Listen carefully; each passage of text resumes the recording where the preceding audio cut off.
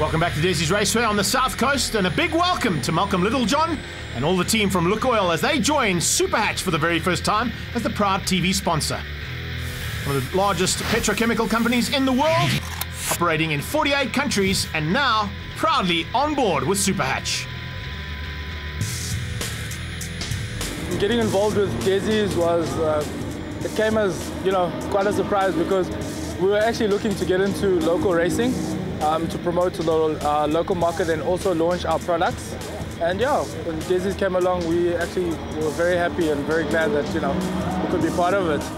And you know, I actually want to thank Dezzi's and everybody involved in the racing circuit.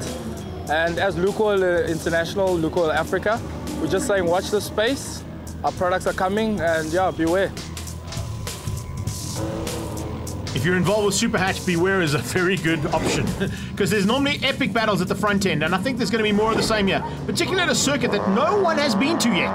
Jonathan Koenig a bit further back here, Stewart on his left-hand side, and you can see the front end of Class B is just ahead of them as they head down into turn one, around the outside, and Chris Davison coming together there with Hilton van Nieuwenhuizen. Van Nieuwenhuizen goes wide, looks like uh, having to take evasive action. Morne Human got forced wide as well, our Class B leader. Davison's got a problem. Yes, indeed, this car has gone a bit haywire and is losing ground here big time. And look at the 17 cars filtered through the right left chicane. And look at that car, triple nine. Andre De Lange, the C man, he's right up there mixing it with the Class Bs. Incredible start there from De Lange, but he is very, very good, particularly in that little car. Oh, another man is good in the car, but got it all wrong.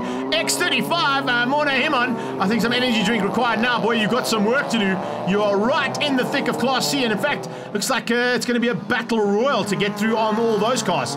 This is Mark Toy. He is currently sitting in about fourth place on track. And oh, out of shape is third place, Peterson. He's got it all wrong coming across the bridge of the dam. Nick Martin sneaks through. He, of course, is leading Class Bs. Uh, action aplenty as predicted in the class, but it looks like that man, Brett Garland, is still out front ahead of Hilton van Nieuwenhuizen in the Citroen with car 99. That's Nick Martin. We saw him take some evasive action further down the field. There's car number triple nine, Andre De Lange, doing an amazing job in Class C. Mark Toy didn't get a great job, unfortunately, up in the hairpin. He's lost a lot of ground now, but still maintains third place on track. Van Nieuwenhuizen has snuck through, and in the closing stages, Morne Human is closing on Koenig. Koenig might just hang on for second place in the Class Bs. Van Nieuwenhuizen is definitely going to win out Class A. Takes the checkered flag, first claw across the line, and beats out Brett Garland. So in Class A, it was all about Van Nieuwenhuizen, Garland, Mark Toy, fortunately hanging on for third, Peterson, and Chris Davison. In the Class Bs, it was all about Nick Martin ahead of Morne Human. What a great drive there to come back. It was the Koenig brothers in third and fourth with Jaco Kriel and Chris van der Westhuizen there in sixth position. Class C is a great battle as well. Andre De Lange eventually getting away from Sam Gerber, but Sam Gerber and Malspur went at it right to the line. Also Van Wyk beat out Robert Stoltz and Tyler Scott. Let's catch up with Hilton and see how race one went.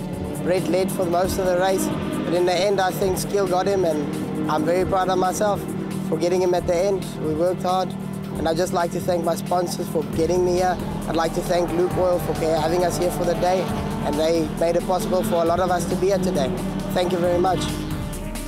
A great race in one, and now for race two. And on the pole position, it's going to be Peterson and Detoy. A couple of breaks going through, and uh, looks like some issues to be sorted out, but I'm sure there will be. Peterson with a thumbs up. Melspur looking fired up as well. Looking to try and close down on De if she can. Garland gets a good start off the line and goes past uh, an ailing Trans Africa Racing Honda. And by ailing, he's already dropped down to fifth place. So I think Detoy is out there just trying to score as many points as possible. Koenig leads the Bees. His brother's right on his tail as they go up and over the rise and down into the corkscrew for the first time. We're on board here with Hilton as he sneaks up on the inside. And can he squeeze Peter Surratt? He's got the better line for the hairpin. If he can keep it all together, they are now side by side. And he gets through. Really impressive driving there from Hilton van Nieuwenhuizen over that rise, such a blind turn, and it looks like, oh, there's the battle. It's Garland trying to get past Peterson there, and a better start there in Class B for Morne Human. Yeah, he's right with Nick Martin, but the two of them got to close down on the Peugeots out front. The Koenig boys are looking pretty much like they are the men to beat. Wow, did I say that? How was that for a turn of pace? Incredible stuff. I think there might be a problem here. That bump that uh, happened earlier on between Koenig and Nick Martin is making him fall by the wayside. Inspector falling by the wayside. Hello, that's DeLange. Class C leader and Class C second place locking up with Alta van Wyk. The ladies are in the house here at Dezzi's Raceway. Well done, Mel. Just tires squealing all over this Desi racetrack. And now this is the battle on track. And that is Morne Human in the Class B car. He's really much better start. We saw him in race number one spin out, but no problems here for Hilton van Nieuwenhuizen at the moment. Out front in that Citroen, he's got Brett Garland and Vanna Petersen just behind him, battling for second and third. And that's how they ended up as they crossed the line. Morne Human is going to take Class B's and a fifth place overall in that Class B golf of his. Mal Spur, what a drive. Class C honours after the demise of Andre De Lange. She'll be happy with that nonetheless. An incredible drive there, beating out Sam Gerber and Alta van Wyk. The Class A, there you see it, Hilton van Nieuwenhuizen, Brett Garland and Vanna Petersen, DeToy and Chris Davison in fifth place. There was a change up in Class B with Morne Human taking the win ahead of the Koenig brothers. Jaco Kriel this time up in fourth, Chris van der Westhuizen in fifth, and Nick Martin down in sixth with those car troubles.